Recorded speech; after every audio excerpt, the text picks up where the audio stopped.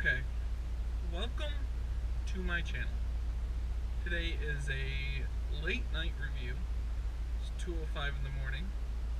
And I found this at my store. It's a new item that we are carrying. It is called kombucha. I thought it said gambucha. It's gonna read you what Lakey said about. No, it's kombucha. Okay. Which refers to any of a variety of fermented, lightly effervescent, sweetened black or green tea drinks that are commonly used as functional beverages for their unsubstantiated health benefits. Kombucha is produced by fermenting tea using a symbiotic colony of bacteria and yeast. Actual contributing microbial populations in SCOBY cultures vary, but the yeast component generally includes uh, something or another in other species and stuff. And yeah.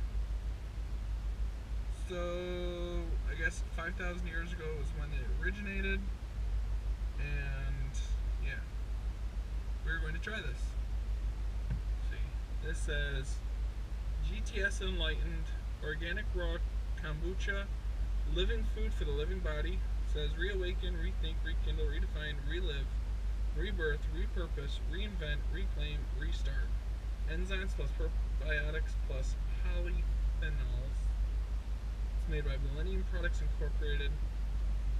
Um, certified organic or organic certifiers incorporated. This is called Gingerade.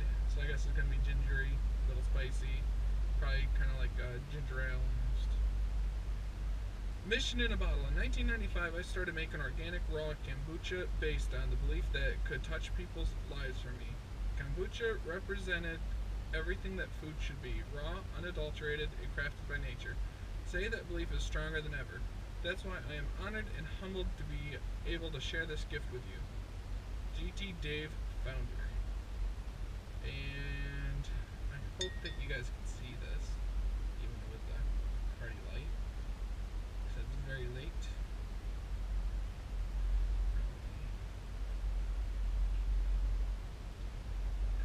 So to try and open this, shouldn't be that difficult. Oh, no zoom.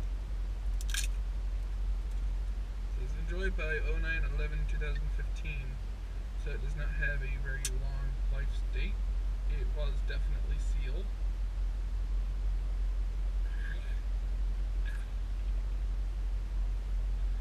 very strong ginger smell.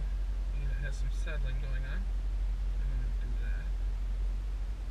I don't think I'm gonna like this. I do like ginger. Oh, it um mildly carbonated. Or maybe that's just the enzymes making bubbles. Very strong smelling. I'm afraid to try it. It's $3.49 at my local Walmart.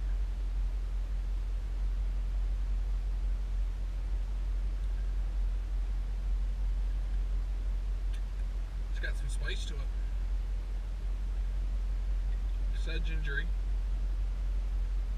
Its taste is pretty good though. It's really weird.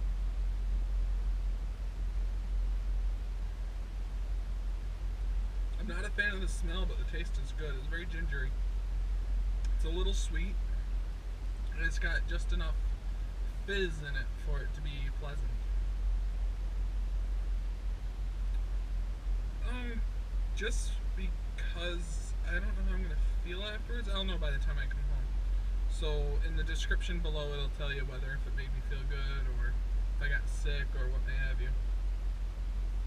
I'm gonna say currently it'll say somewhere on the screen whether if I changed it or not. But as of right now, this is a 4 out of 5. Definitely something you'd want to try. It's pretty decent. If you don't like ginger, you will not like this.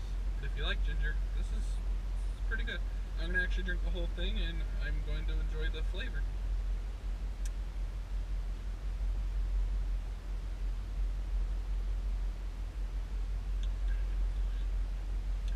to have to get another one and have uh, Fox Quinn Gamer do a review on that. So look forward to that. Uh, once I have her do a review, I will post a link in the description to her channel when she does a review, which could be in a week or two. So for watching. Please like and subscribe. I shall see you in.